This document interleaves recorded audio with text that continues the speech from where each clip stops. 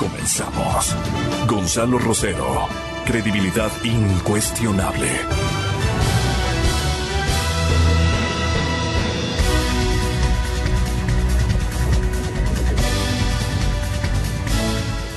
Buenos días, amigas, amigos. Estamos iniciando esta mañana, el primer día de septiembre, martes primero de septiembre del 2020. Y el año con la pandemia avanza, avanza. Y hay que tomar eh, cuidados. Y claro, hasta un poco antes de mediados de septiembre tendremos el tema de las decisiones del COE nacional y y este va a pasar, ¿no? Va a pasar a las decisiones de los COE cantonales y por lo tanto de los municipios a asumir, como se ha dicho, no una, no van a traspasar las cosas, pero sí van a poder enmarcar en lo que es eh, sus competencias. O sea, no hay traspaso de competencias, pero sí una aplicación de las cantonales. Así es que, bueno, pero un hecho que se suscitó el día de ayer, que fue un acuerdo social cristiano, creo, eh, un poco como que se consolida un sector. Y sobre ese tema hemos invitado a tres eh, personas que nos pueden ayudar. El señor doctor Julio Echeverría, el periodista Martín Payares y el periodista y escritor Jorge Ortiz. Eh, quisiera saludar al doctor Julio Echeverría. Muchísimas gracias por acompañarnos.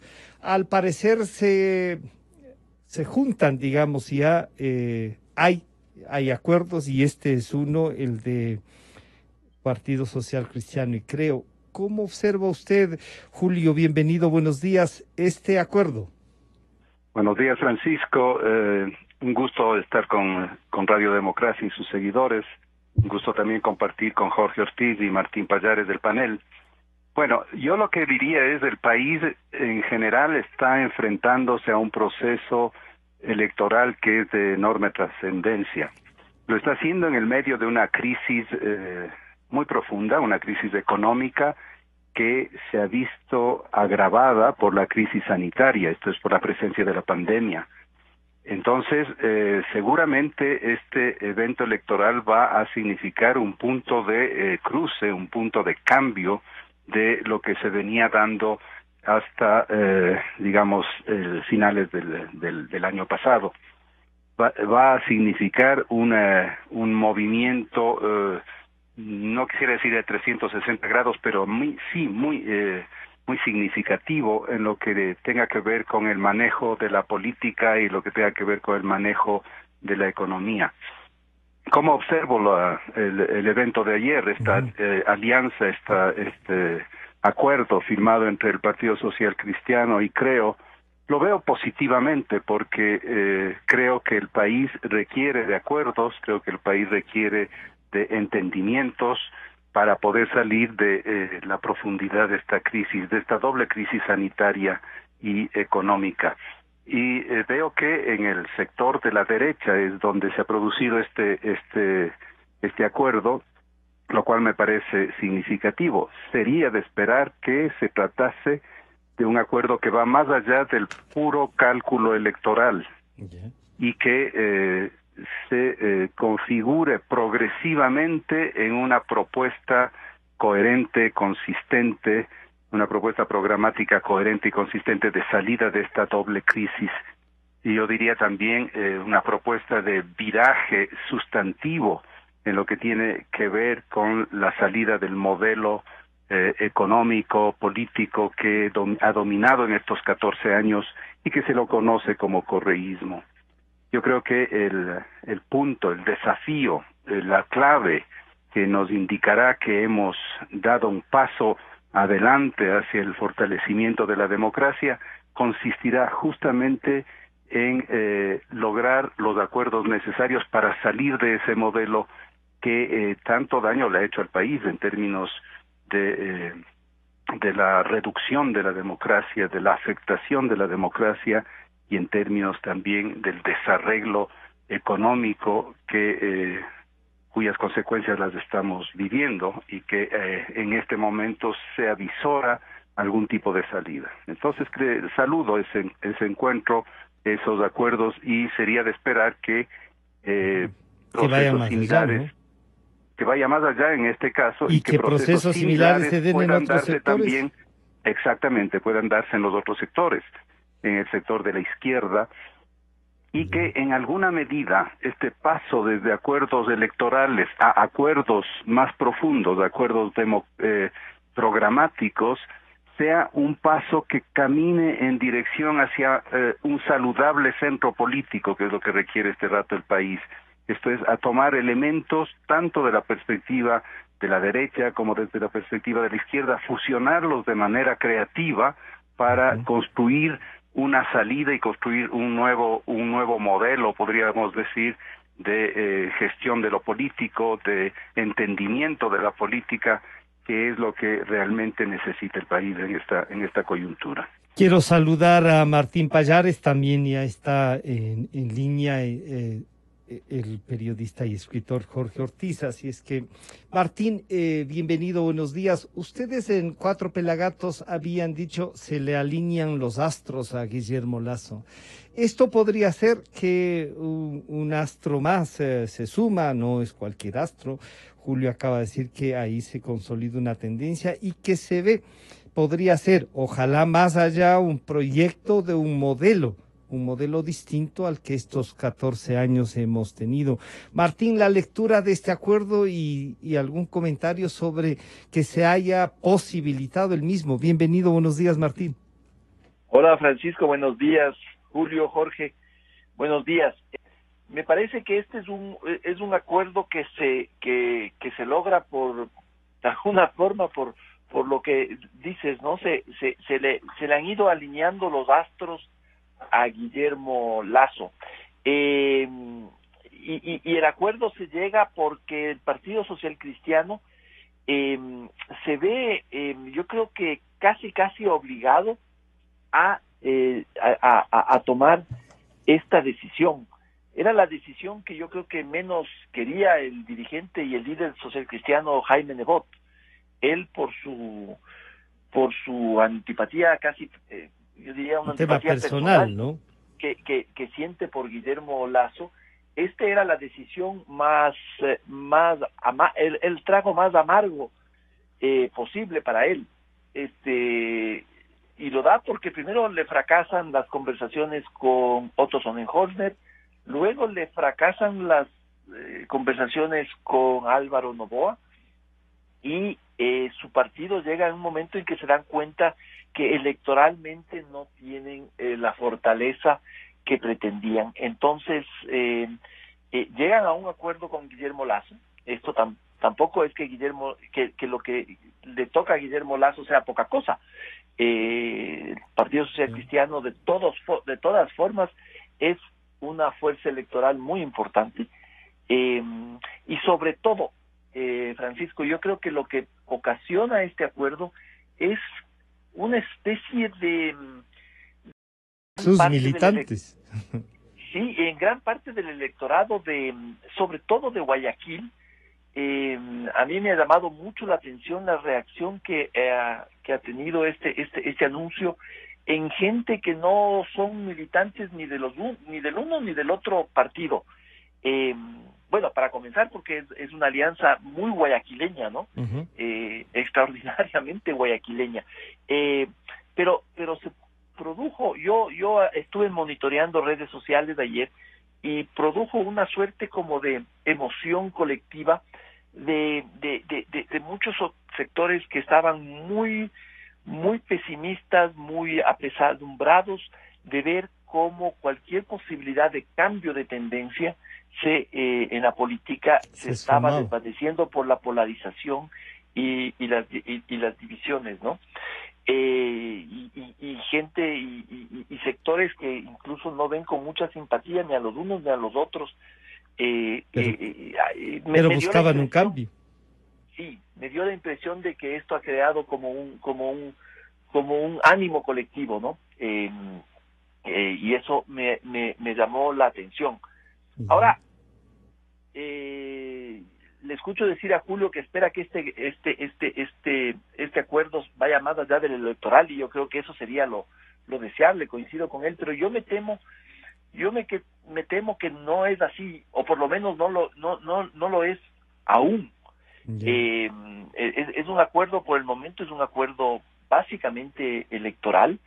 Eh, entre los entre los puntos del acuerdo está que no no los socialcristianos no van a intervenir en el plan de gobierno de, de Lazo y Lazo no va a intervenir en las posiciones que tenga el Partido Social Cristiano al interior de la Asamblea. No hay acuerdo sobre temas concretos, con la excepción de uno que yo creo, a, mi modo personal, creo que es el, el, más débil y el menos bueno, que es que Lazo se compromete a, auspiciar y a, y, a defender la consulta propuesta por eh, Jaime Nebot, que a, mi entender me parece que es una consulta eh, sin mayor significativo. Eh, que la puede hacer desde el ejercicio del gobierno si llegan. Así es, bueno, si es que llegan, será en el caso de que lleguen, ¿no? Pero me parece que esa es, la, esa es la única parte del acuerdo donde... Que podría debilitar la imagen de Lazo, podría, ¿sí? Sí, claro que sí. Pero sí, me parece que es, eh, es, es una noticia bastante impactante. Yo no sé, yo no recuerdo otra alianza de este tipo eh, desde aquella que, sí, desde aquella que, que, hicieron la izquierda democracia y la democracia popular en el gobierno de, los primeros dos años del gobierno de Rodrigo Borja, ¿no? Eh, y me parece que eso es interesante desde el punto de vista eh, político desde el punto de vista de la institucionalización de la política en el país. Y planteado así, eh, saludamos a Jorge Ortiz. Jorge, bienvenido, buenos días. Eh, bueno, eh, Martín acaba de recordar una cosa que algunos, algunos decían que cuando se dio el acuerdo del doctor Borja con la ADP y como consecuencia de eso llevó a Wilfrido Lucero a la presidencia, pero también alguna gente, algunos ministerios. Se compartió gobierno los dos primeros años y esa estabilidad. Muchos, incluso al interior de la ADP, dijeron que ese era el inicio del fin de la ADP por haber cedido al, a respaldar al doctor Borja. Después se ganó otras elecciones en realidad, pero sí, sí fue una confrontación, produjo ahí una confrontación interna. Eh, y al final el propio doctor Borja y la izquierda democrática respaldaron a los que no habían respaldado el acuerdo con ellos, así es que fue una cosa eh, especial. Jorge, ¿cómo mide usted? Y yo podría decir, usted era quizá uno de los más escépticos de esto, de esto que ha pasado el día de ayer. Bienvenido nuevamente, buenos días. Gracias, Francisco. Buenos días. Y hola, Julio y Martín. Em, es un gusto estar en compañía de ustedes. A ver, eh, yo voy a eh, eh, enunciar una teoría sobre este, este acuerdo. A mí me parece que este acuerdo era eh, absolutamente imposible, mientras Jaime Nebot tenía el control absoluto, incontrastable, indisputable del Partido Social Cristiano. Jaime Nebot, por alguna razón que no la conozco, o que, tal vez ni siquiera era una razón, sino simplemente un motivo, eh, se negaba a sangre y fuego a tener un acuerdo con Guillermo Lazo, simplemente lo detesta. Insisto, no tengo la menor idea por qué y tampoco me parece bien que eh, rencillas personales de cualquier índole eh, interfieran en el logro de acuerdos eh, nacionales, en acuerdos en temas de política internacional que son claves para el país. Creo que el momento que a última hora Jaime Nebot decidió no ser candidato presidencial y dejó al Partido Social Cristiano materialmente colgado de la brocha, agárrate fuerte de la brocha que te retiro la escalera, evidentemente hubo un descontento en el Partido Social Cristiano, los, eh, llamémoslo en términos eh, de política español, los varones del Partido Social Cristiano se rebelaron.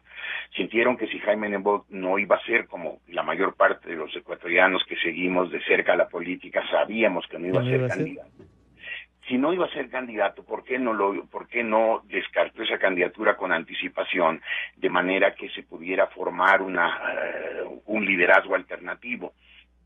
Y entonces creo que hubo una rebelión, una, una situación de verdadero desagrado.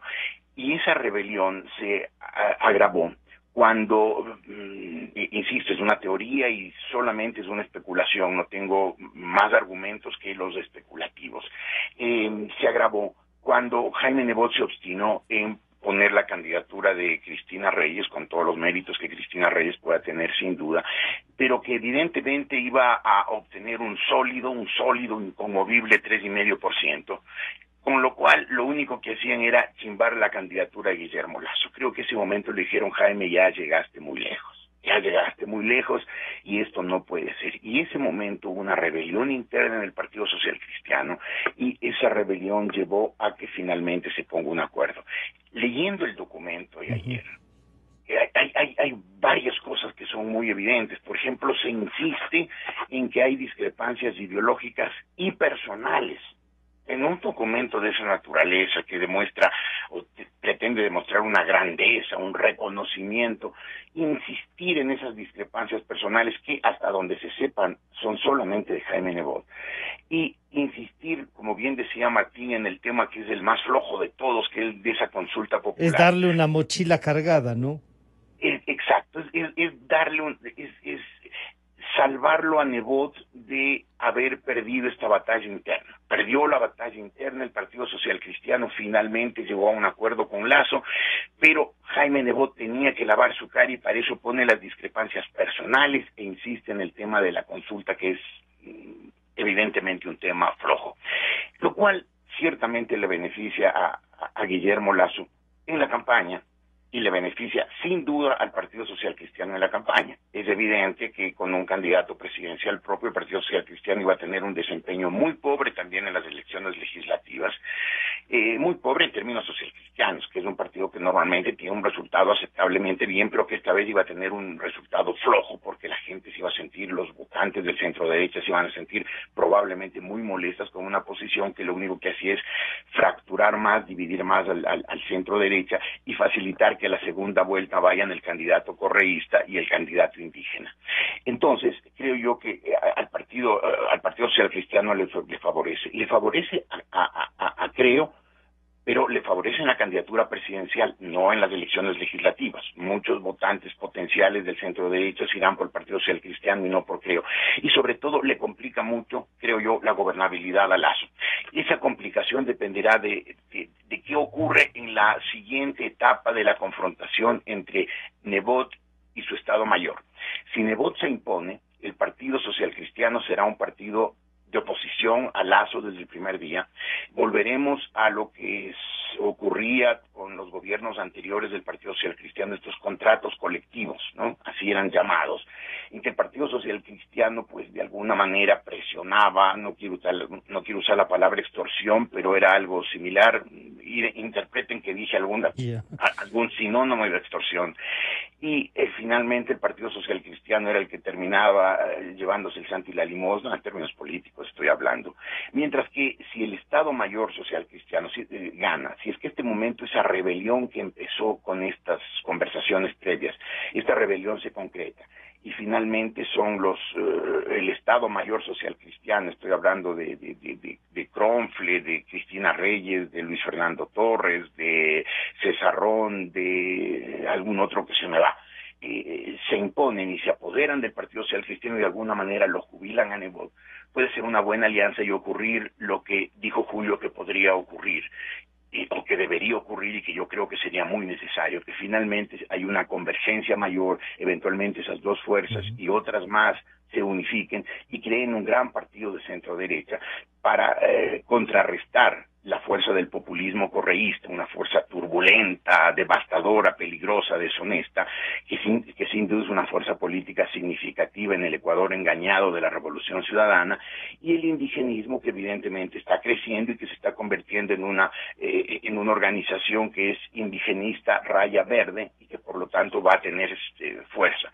Creo yo que sería eh, esta la ocasión ideal para que se unifiquen también las fuerzas de centro derecha, pero insisto, dependerá si se concreta, culmina esta rebelión de los eh, de los eh, del Estado Mayor Social Cristiano contra el liderazgo personalista y caudillista de Nebot o si Nebot logra mantenerse como el dueño del partido. Claro, entonces Julio aquí es, es un primer paso y este primer paso que tanto lo advierten Jorge como Martín, pero eh, y Martín decía quizá con más fuerza que el punto débil le encontraba en este acuerdo la propuesta eh, de, de consulta de Jaime Nebot y Jorge dice sí, o sea, ahí lo único que hacen es demostrar que hay un personalismo se puede entonces estar, eh, digamos, estar observando el nacimiento de algo que no va a tener estos líderes que parecen dueños de, de, todo y que se puede discutir una mayor democracia. Estaremos asistiendo también a la necesidad urgente de que haya, eh, se construya algo más en el centro y que las fuerzas políticas, si bien no están ahora corriendo electoralmente, puedan tener también una convocatoria y acudir para eh, también eh, contrarrestar el populismo y quizá también eh, eh, tener acuerdos mucho más claros con el indigenismo, Julio.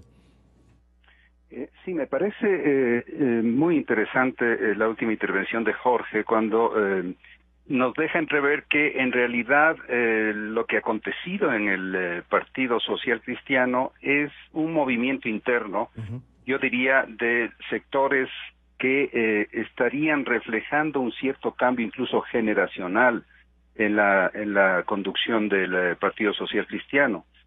Eh, seguramente actores con una sensibilidad diferente de la, yo diría, de la sensibilidad de corte caudillista que demostraba la, la, la postura de, de.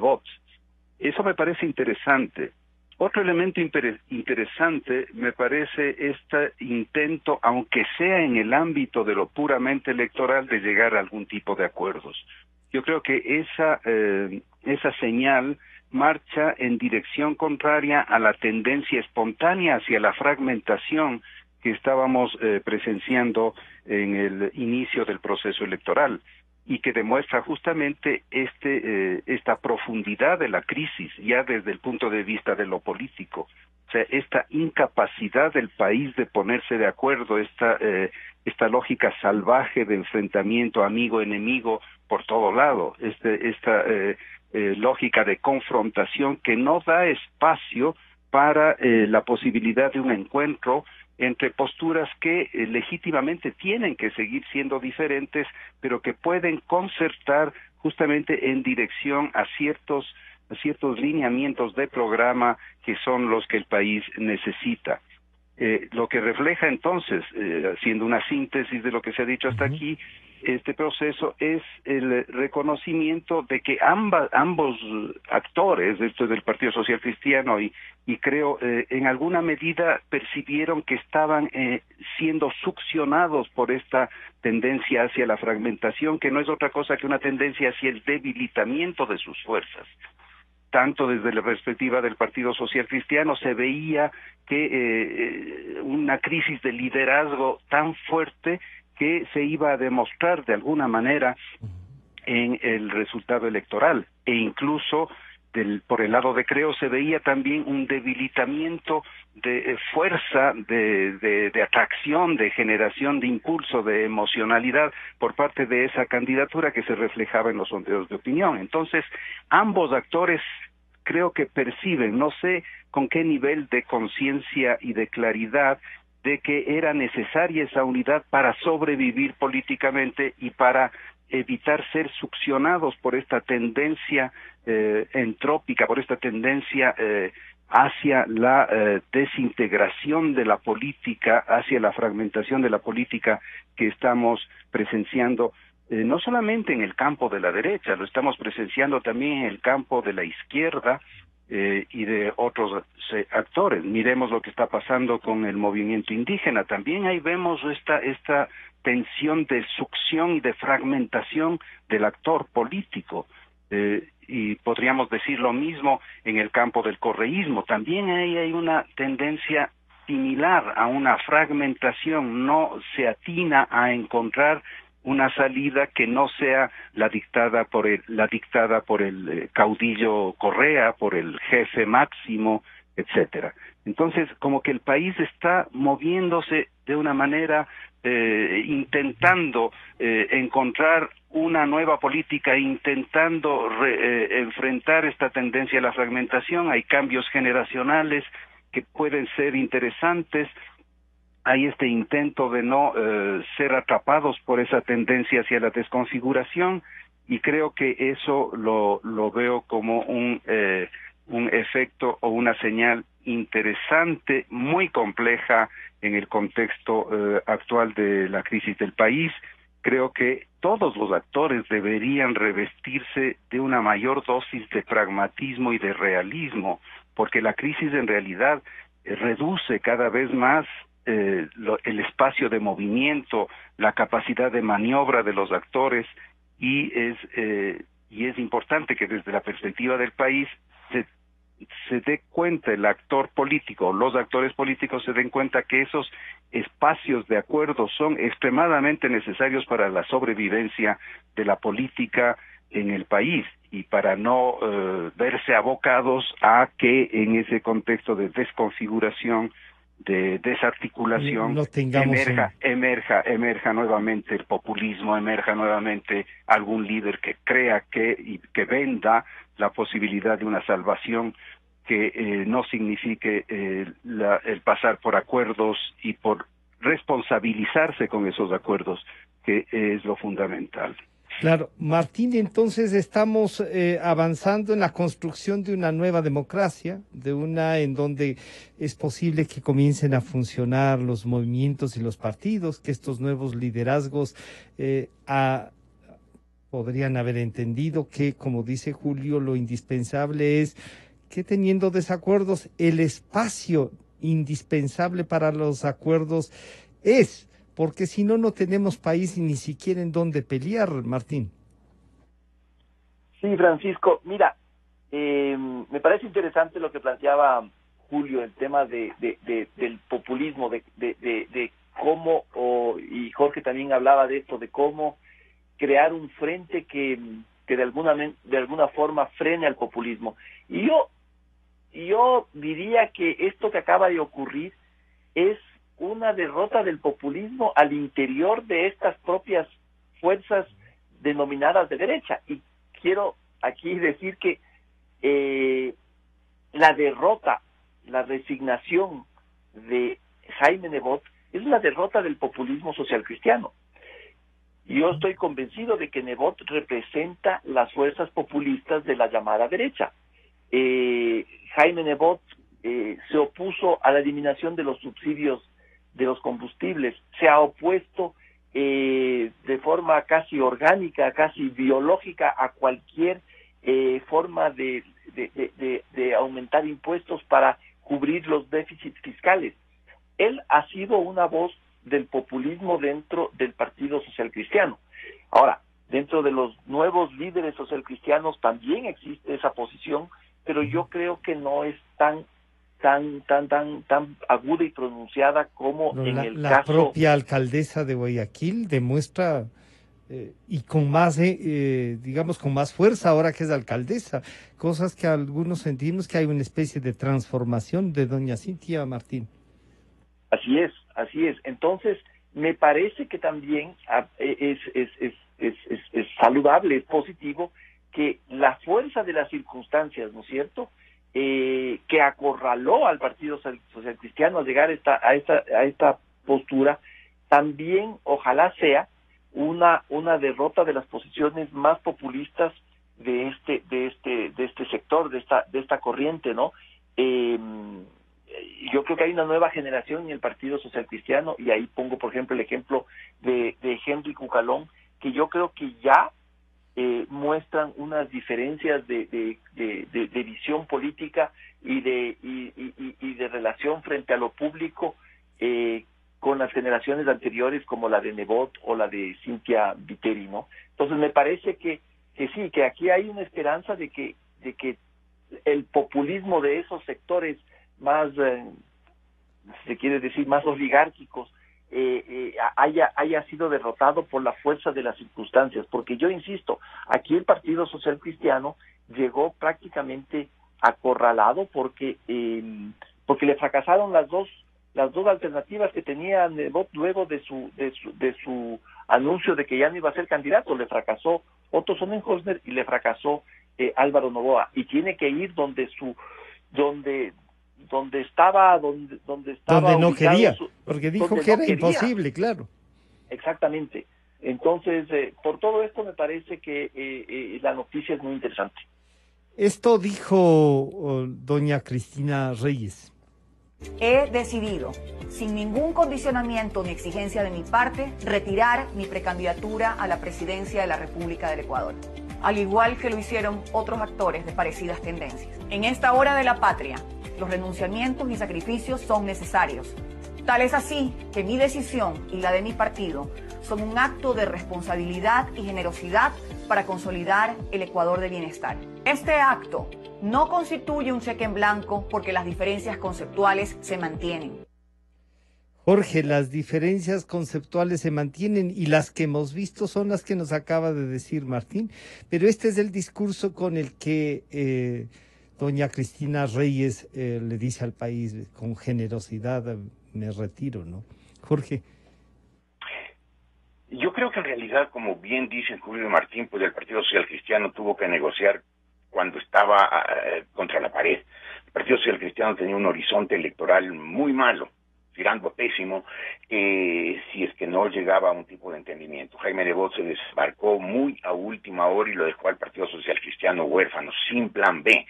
Y, y ese momento creo yo que hubo el intento de, empezó el intento de rebelión, diciendo tenemos que formar una alianza con algún grupo político porque si no desaparecemos. Y, y finalmente cuando, como bien eh, cronológicamente relataba Martín, pues eh, fallaron los, los intentos con otros Holzner y con eh, Álvaro Novoa tuvieron que ir contra eh, con, eh, Guillermo Lazo, con quien Jaime Nebot tiene una antipatía, parece que invencible.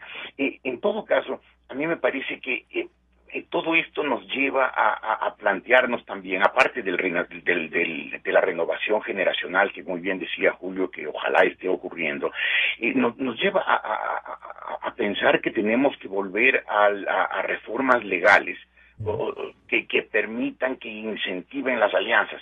En 1978, cuando se empezó el proceso de retorno al régimen de derecho después de la dictadura de 1972, eh, se creó una comisión que hizo una ley de partidos políticos que la presidió el eh, expresidente Osvaldo Hurtado, por entonces el doctor Osvaldo Hurtado, y, mm, y creó una ley de partidos que seguramente tenía imperfecciones, deficiencias, insuficiencias, pero que sin duda hubiera ayudado a que hoy el país esta dispersión ridícula que tenemos en que se inscriben 18 o 19 binomios, algunos encabezados por unos don nadies absolutos cuyos nombres no los había oído nadie eh, eh, y otros candidatos que evidentemente no tienen ni la más mínima posibilidad de hacer un papel más o menos decoroso en las elecciones.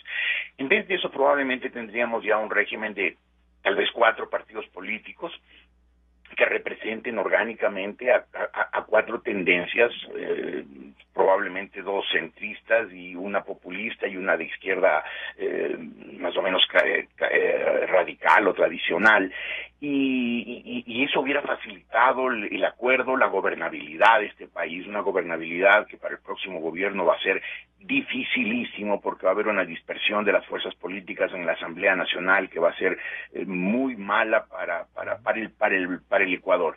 Yo creo que este momento deberíamos propiciar que se vuelva a, dictar una ley de partidos políticos eh, similar en sus intenciones al menos a la de 1979 eh, que eh, aliente a la desaparición de estos pequeños grupúsculos que nada significan, que solo dañan a, la estructura política, que no es que le dan diversidad de opciones al electorado, sino que confunden al electorado y que no aportan nada, sino la participación en política de unos cuantos vivos que tienen echarle mano al presupuesto del Estado con, con, la reposición del gasto electoral.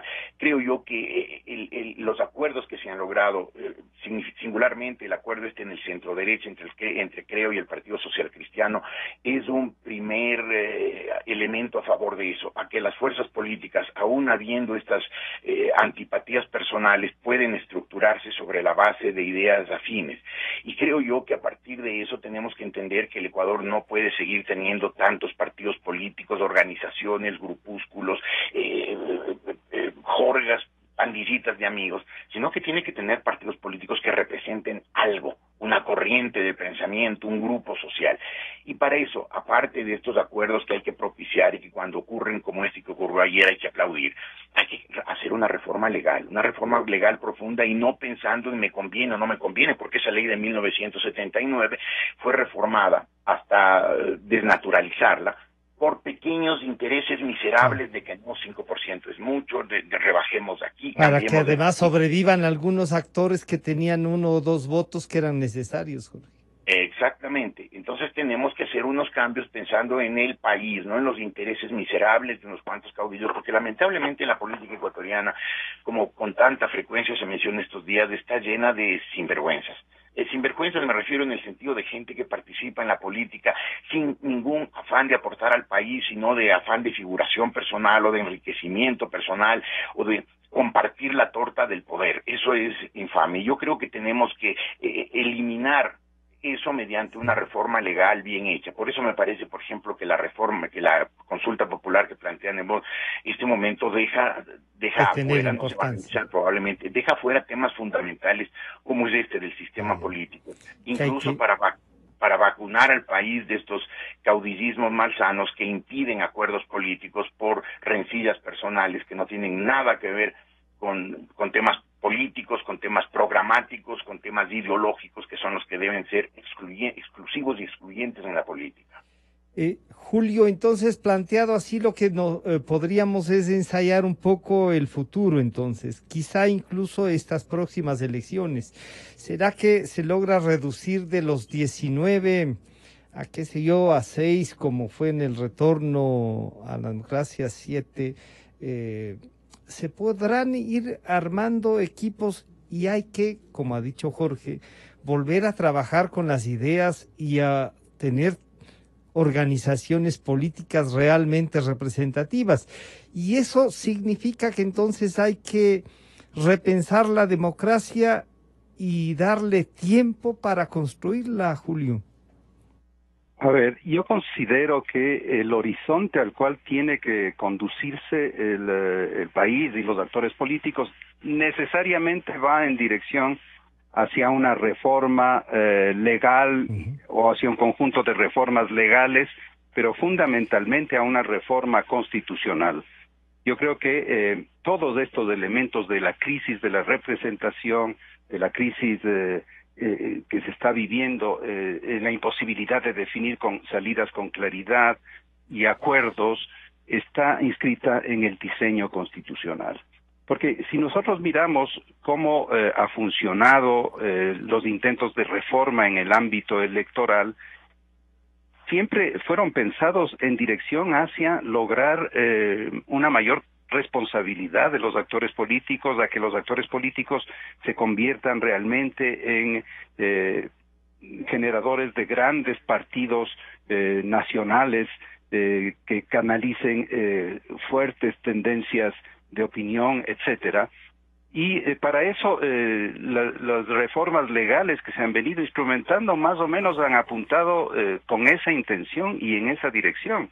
Esto es eh, premiar la presencia en el territorio de los partidos, eh, generar márgenes o techos de votación para calificar su, su mantención como organizaciones políticas, eh, acceder a un financiamiento estatal para reducir posibles asimetrías en el financiamiento de las campañas. En fin, todas estas medidas se han venido intentando eh, eh, diseñar y todas aparecen como incentivos hacia la búsqueda y el logro de actores nacionales responsables, grandes tendencias, etcétera. Pero eso no ha funcionado. Ha funcionado justamente lo contrario.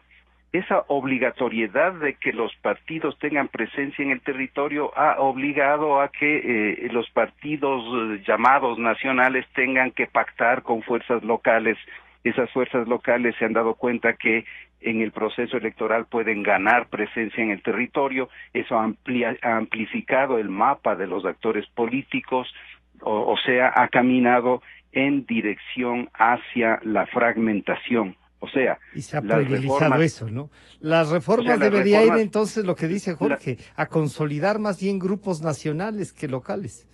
Sí, pero eso es lo que han venido intentando estas reformas, pero no se ha conseguido. Entonces la pregunta que habría que hacerse es si es que insistir en estas reformas, que yo llamaría reformas técnicas que tienen que ver con eh, el, ámbito de la legalidad o de las leyes de elecciones, etcétera, son suficientes. Y creo que no lo son. Podrían ser complementarias, sí, pero a condición de que se camine hacia una efectiva reforma constitucional que le dote a la función de la representación del estatus que, que eh, requiere y que, que, ha sido quitado en eh, la última constitución de Montecristi. Esto es, el hiperpresidencialismo lo que ha hecho es debilitar la función de representación. Eh, las funciones de control, de legislación, etcétera, se han disminuido. Entonces, acceder a la política es acceder a qué? Es acceder al negocio, es acceder a, a la componenda, es acceder a la distribución de cargos, no es acceder a la gran discusión de los temas nacionales. Entonces, solamente el momento en el cual la representación, esto es los partidos, tengan como, como su eh, objetivo central la discusión del programa que el país requiere, en ese momento los actores van a cambiar y van necesariamente a eh, tener otro tipo de perfiles que los que eh, encontramos ahora que son perfiles que están muy dispuestos a, eh, a, encontrar salidas que no necesariamente refuerzan la institucionalidad, salidas que se comprometen incluso con la corrupción. Es cuestión de fijarse cómo cuál es el estatus actual de la asamblea de la asamblea nacional y nos vamos a dar cuenta que el 60% de, de, de quienes lo integran están en alguna medida involucrados en procesos degenerativos de, del quehacer político en la corrupción. Entonces es extremadamente necesario que se camine hacia una reforma constitucional que devuelva la autonomía y la independencia de los poderes y que en ese contexto estos mecanismos legales de, que, que incentivan la corresponsabilidad se puedan tener sentido. Si no se produce ese cambio en el ADN constitucional, entonces eh, estos, estos instrumentos caminarían en dirección contraria a lo que quisieran alcanzar o lograr. Claro, entonces ahí Martín es indispensable una profunda reforma constitucional, no sé si una constituyente, pero sí una profunda reforma que no pasa por la propuesta del abogado Nebot, como tú mismo lo habías señalado, pese a que se vuelve una carga en la campaña. ¿Qué salidas encontrarías tú para consolidar, salir del hiperpresidencialismo y, como dice Julio, no solo la reforma de, de, la, de las técnicas, de aplicación del Código de la Democracia, sino más bien cómo democratizar más y consolidar grupos de pensamiento más que de poder. Martín. Ah, eh, disculpa. No, no, disculpa, Francisco.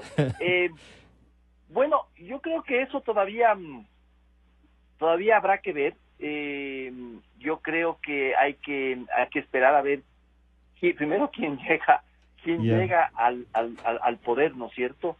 ¿Cómo queda configurada la asamblea?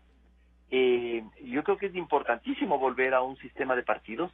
Yo creo que parte del desastre en el que estamos metidos, yo creo que parte del desastre de la asamblea ha sido el, el, desmoronamiento el, el, del sistema de partido que mal que bien funcionaba en este en, en, en este país y, y, y, que, y que con el advenimiento del correísmo se destruyó, no solamente que se destruyeron las instituciones, sino que se, se armó un discurso antipartidista, antipartidista que yo creo que es absolutamente pernicioso.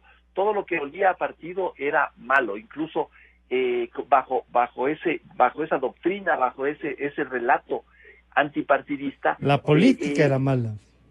Claro, y incluso instituciones como el, el, el, entonces Tribunal Supremo Electoral y todos esas, esos, organismos, ¿no es cierto?, tan claves para los... Eh, bajo este discurso se, se, se, les entregó de alguna forma al, al, al, Ejecutivo. Eh, yo recuerdo que con todos los problemas en el Tribunal Supremo Electoral, ¿no es cierto?, eh, habían representantes de los partidos y, y, y, y es, eh, y, era bastante interesante ver cómo se seguían entre, ellos, claro. Se, se, regulaban entre ellos, se controlaban, se fiscalizaban, etcétera. Eso se acabó. Entonces, eh, yo creo que es importantísimo volver a un sistema de partidos. Yo creo que esa es la forma en que funcionan las democracias modernas, eh, civilizadas y robustas. Eh, y, pero, pero sí, hay que esperar a ver quiénes llegan al poder, cómo queda esa asamblea y esperar a ver también los, los planteamientos sobre este tema que tengan los distintos actores. Hasta ahora no he visto mayor cosa.